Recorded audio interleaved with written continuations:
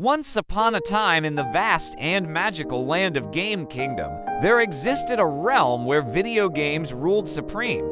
Here, pixels danced and characters came to life, bringing joy and excitement to all who ventured into their world. The ruler of Game Kingdom was King Arcade, a wise and fair monarch who governed over the various game genres with skill and grace.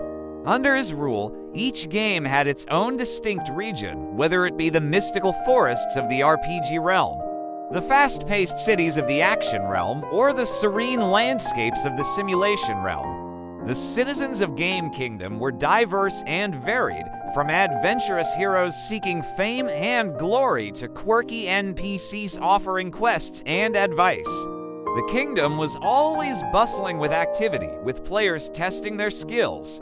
In thrilling battles, solving intricate puzzles, and exploring hidden secrets. But as with any kingdom, there were also threats lurking in the shadows. The villainous Dark Lord Glitch had long been banished to the outskirts of Game Kingdom. But his malevolent influence still lingered, causing glitches and bugs to plague the land. Despite the challenges they faced, the residents of Game Kingdom remained steadfast and united. They banded together to defeat Glitch's minions, restore peace to their realm, and ensure that the joy of gaming could continue unabated. And so, Game Kingdom thrived, a vibrant and enchanting world where the power of imagination reigned supreme. As players embarked on new adventures and forged lasting friendships, they knew that as long as they stood together, nothing could stand in their way.